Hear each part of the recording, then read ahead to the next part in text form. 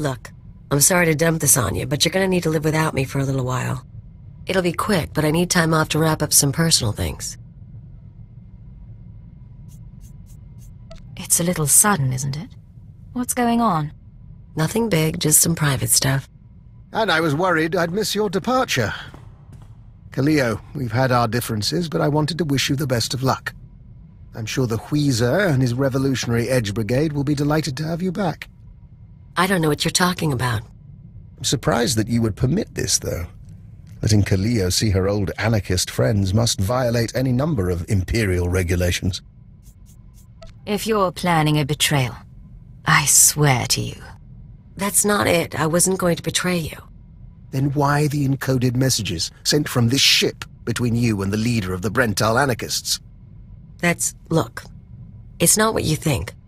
The Wheezer got in touch, said he needed help. Didn't say why, but I figure security's cracking down on the cell again.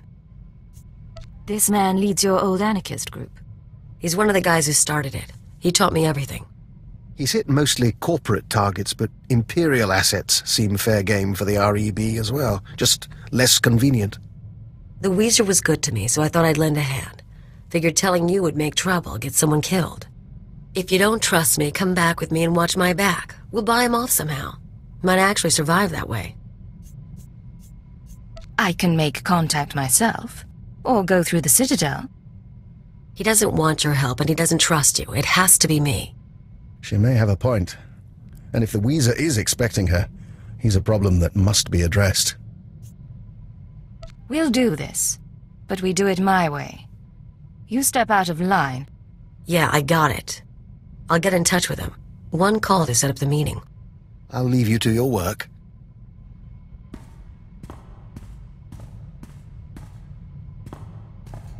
We're all set. The Wheezer will meet us at the Hutta spaceport. Just try to make this go without a fight. I don't need to lose either of you.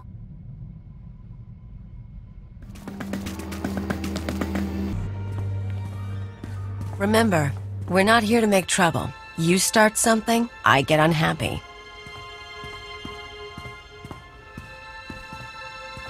Kaliyo, of all the gifts you've sent to me, this is truly the finest. An agent of Imperial intelligence. How marvelous. I don't understand what you mean. Kaliyo has been selling information to the Revolutionary Edge Brigade ever since she joined the Empire. What are you doing? Imperial security data, spaceport blueprints, the names of powerful people, useful things. But now she's gone beyond the call of duty. You've been selling our secrets to anarchists. It's not how he makes it sound. This wasn't what we agreed. Why bother keeping it private when your associate dies anyway? She's more useful dead than alive. Her hands and eyes can get us through biometric security scans. This isn't a harvest job. Then I apologize for misreading our agreement, but this is too promising an opportunity to pass up. I fought the eagle in his nest. As terrorists go, you're barely worth a footnote. Damn it, Agent! Ah! Ah! Ah! No mercy.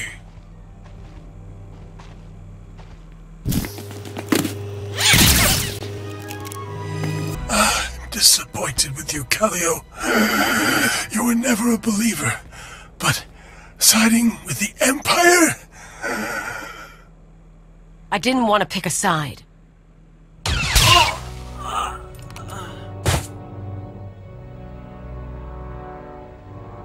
So yeah, I sold him a few secrets. He paid better than you do, and it's not like I got you in trouble.